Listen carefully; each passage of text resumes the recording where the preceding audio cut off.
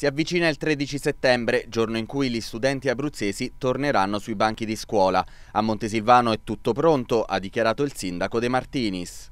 Tutto rientrerà nella normalità e tutto sarà in qualche caso anche migliore di quello che è stato il passato. Per quello che riguarda anche il trasporto è tutto organizzato, quindi ritengo che tutto vada per il meglio.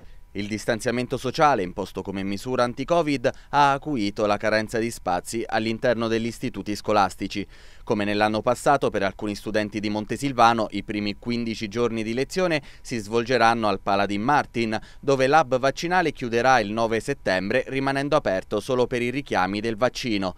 Poi però, in accordo con presidi e genitori, gli studenti torneranno nei pressi delle scuole in appositi container che fungeranno da aule.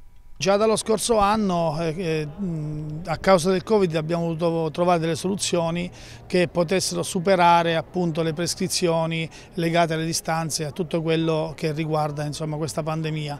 L'anno scorso abbiamo eh, trovato soluzioni alternative in quel del Paladin Martin per quello che riguarda l'istituto Ignazio Silone. Quest'anno d'accordo con eh, il dirigente scolastico ma anche con i genitori abbiamo ragionato all'allestimento allestimento di container per riportare il, gli studenti insomma, nella, nella, loro sede naturale, cioè al, in via San Gottardo, in, in strutture che comunque eh, avranno, garantiranno insomma, tutto quello che necessita ai ragazzi.